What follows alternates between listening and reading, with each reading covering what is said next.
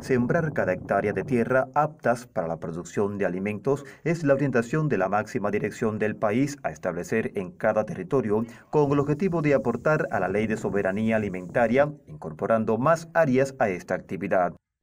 Ese es el compromiso de estructuras productivas del santiaguero municipio Segundo Frente, como es el caso de la UB 13 de agosto, ubicada en la localidad de Tumba 7, más conocida como Microjet, que implementa un trabajo sostenido en la recuperación y siembra de sus 36 hectáreas que ya dan respuesta a la producción de alimentos. De ella tenemos 18 hectáreas de plátano burro sembrada, 12 de ellas están en producción, contamos con 7 hectáreas de yuca.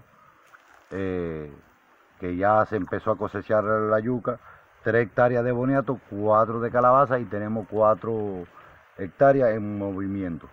Una actividad que se materializa en el compromiso de sus obreros cuando este ha sido un polo productivo que tuvo buenas experiencias en dar respuesta con sus producciones ante las necesidades y carencias en los tiempos del periodo especial en la década del 90 y que ahora se materializa con resultados loables. ¿Qué pasa? Que esto se ha venido recuperando paulatinamente y ya se ve el cambio, se ve la producción.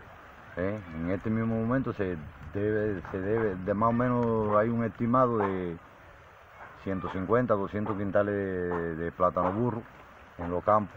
Nos quedan ahí 6 hectáreas de, de, yuca en producción, que ya el mes que viene están de cosecharlo. ¿eh? Y la producción de alimentos se está trabajando aquí fuertemente. Segundo Frente cuenta con cinco polos productivos, sin embargo se trabaja en rescatar tres más que aumenta la posibilidad de incrementar las producciones de alimentos cuando ya han sembrado más de 2.260 hectáreas aprovechando la campaña de primavera para como este microjet lograr establecer un cierre total de sus áreas posibles destinadas a la producción de alimentos y producir para el pueblo. Desde Segundo Frente, John Marabreu Macías, Canal Cubano de Noticias.